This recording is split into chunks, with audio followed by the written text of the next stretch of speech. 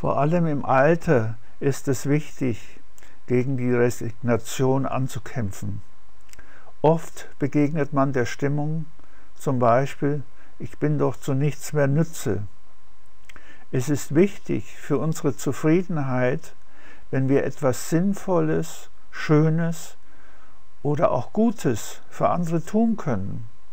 Wir sind soziale Wesen. Allein sind wir nicht lebensfähig. Wir brauchen das Wohlwollen unserer Umgebung, sonst verkümmern wir. Ohne soziale Kontakte und Feedback besteht die Gefahr, dass wir immer mehr Marotten entwickeln. Vor allem im Alter ist es wichtig, gegen die Resignation anzukämpfen. Oft begegnet man der Stimmung, zum Beispiel, ich bin doch zu nichts mehr nütze.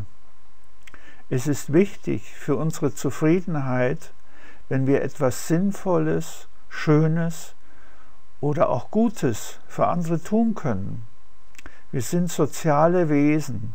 Allein sind wir nicht lebensfähig.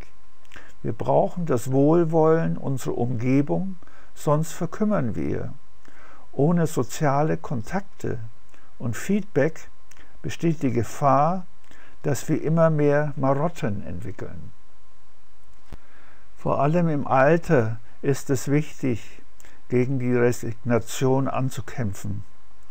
Oft begegnet man der Stimmung, zum Beispiel, ich bin doch zu nichts mehr nütze.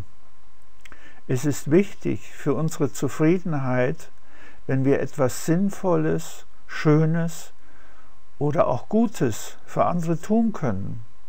Wir sind soziale Wesen. Allein sind wir nicht lebensfähig. Wir brauchen das Wohlwollen unserer Umgebung, sonst verkümmern wir. Ohne soziale Kontakte und Feedback besteht die Gefahr, dass wir immer mehr Marotten entwickeln.